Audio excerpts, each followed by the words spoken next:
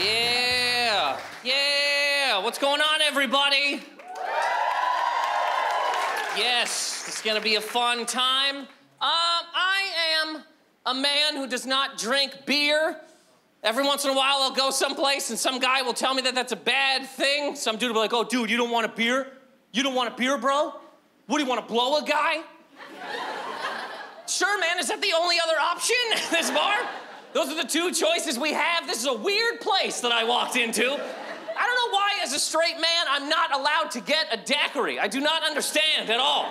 They're so good. They got strawberry and pineapple in them, but never, even if I'm on a date with a girl, if I'm sitting there with a girl and she's like, I think I'm gonna get a daiquiri, if I was like, God, that sounds delicious. Maybe I'll have one of those. Like, what are you, a loser? You can't get a daiquiri. You have to get something a man would drink, like sand or oil or some other shit like that. So stupid being a straight man. Another dumb thing is I'm not allowed to walk up to a straight man I don't know and compliment what he's wearing. I'm just not allowed to do that. If I see a guy in the street I don't know, I'm not allowed to walk up to him and go, dude, that shirt, you are killing it right now, man. I should be able to do that. We need more compliments. If I see a sad guy at the bar, you know what I mean? I just walk up to him like, man, look, I know you hit on that girl. She didn't want to go home with you. But that hat, you are killing it right now. My, uh, my ex-girlfriend was really jealous.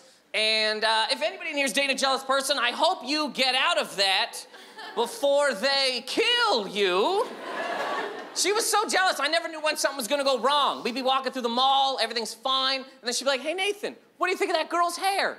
And because I was asked a question, I would turn, I'd look at this girl's hair, I'd be like, oh yeah, that girl's hair? Yeah, I like that girl's hair. I might not have said it in that high of a pitch, but still. But then she would just freak out. She would just lose her jealous mind. She'd be like, oh my God, you like that girl's hair? You actually like that? What do you want me to have that girl's hair? I don't know. Does that girl's hair come with more self confidence? Because if it does, go get it right now. How can you get mad at me for looking at a girl you asked me to look at, you know? That's just the thing jealous women are allowed to do. Just ask you these questions you're not supposed to have real answers to. Like, do you think my friends are hot? I don't see your friends. They're invisible to me. You're the only woman alive, tree of life.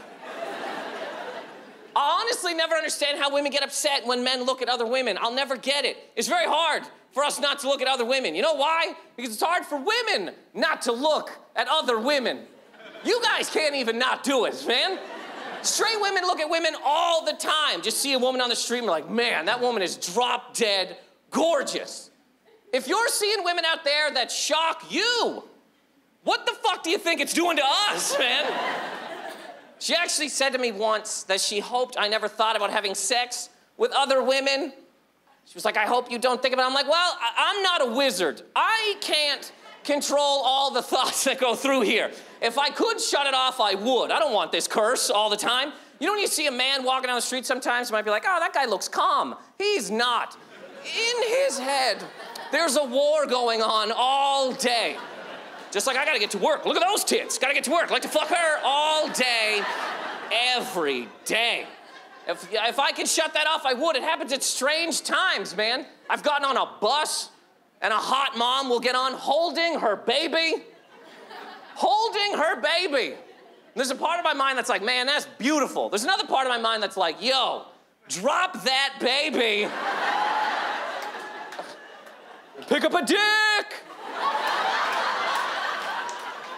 And that's not the thought I want to have, you know? I think my, I think my ex-girlfriend was really jealous because she used to compare herself to every single woman on the planet. She'd even get those lists, the world's sexiest women list, and go through that whole thing. I'm like, look at that woman's legs. They're all long and tall. Look at my legs. I've got these short little stubby troll legs. I don't even have knees. How does my leg even bend? I used to have to tell them, like, these lists are bullshit. They did not search the world. It's just celebrities. They always try to tell us that the world's sexiest people are celebrities, always. World's sexiest woman, it's gotta be like Rihanna, right? Same as world's sexiest man. They're always like, it's this guy in this movie, or it's George Clooney. He's the world's sexiest man the last 85 years running. Even when he's dead, we're gonna dig him up and be like, here he is, the world's sexiest bones. We, we don't know who the world's sexiest people are. The world's sexiest man? Who knows? It could be some guy in Italy who always has a cigarette in his mouth. He's just bronzed from the sun, has a dress shirt done up with only one button, and he fixes old boats. That's the world's sexiest man right there. So, and he could just take a tomato out of the ground and know how long it's been there, you know? Just pick it up and be like, oh, March. That's the world's sexiest man. But because he's not in a movie, you will never hear about him. She's asked me before, she actually asked me if these lists were right. She was like, Do you really think this woman is number eight? Do you think this woman is number four? We don't care. Men don't pick up this list and call our friends like, yo, dude, did you get the list?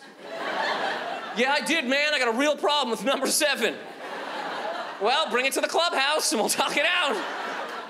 Don't care. You ask a regular man who he thinks the world's sexiest woman is. Just go up to some guy, like, who do you think it is, man? You think it's, I don't know, this celebrity or this celebrity? He'll be like, look, those two are pretty cool, okay? But let me tell you this. I was just at a restaurant. My waitress was hot as hell, okay? tits everywhere, ass all over the place. The world's sexiest woman to a man is the last hot woman he saw. It's how it breaks down, just like, yo, there's the world's sexiest woman. Wait a minute, there's another one. That one's garbage now. Look at this over here. That's why I don't think they put that list out for men. I think they put that list out for women. So you guys look at it, hate yourselves, try to change everything about who you are. We're only shown one type of woman on a magazine cover. It's usually a scary, small woman with just like ribs all over the place. You can see her teeth through her face. I don't know who wants this. I've never been at a bar with a friend of mine, have him go, yo, dude, see that zombie looking chick over there in the corner? yeah, man, the girl that looks sad and tired and hungry. God, I would love to just grab her collarbone and ride her into the night. Eat something, for God's sake. I've only met one man who wants that. One. One dude, he was like, yo, man, I only want to sleep with girls that are 98 pounds.